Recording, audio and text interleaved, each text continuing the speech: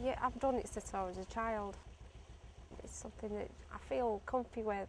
It's something that's within me that I've got, I need to get out. So being on the narrowboat is, it gives me the feeling of a lot of inspiration. I was made redundant from a pottery company.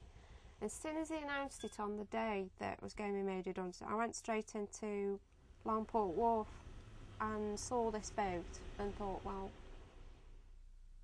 it, seems like a good idea and it'll probably suit me because I like the surroundings, I like the calmness of it. For an artist, it's a perfect spot. You see so much wildlife and it's you, you capture that somehow when you're painting. And I wouldn't be able to get that at home, I don't think. Since I've had the narrowboat, I feel a lot more content and at ease with myself, and I can feel I can achieve so much more now than I've ever done because I'm being myself, and that's what life's all about. You've got to find everything that you feel inside that your heart's telling you to do, and you've got to do it because otherwise you're not at ease with yourself. You'll be saying if this, if that.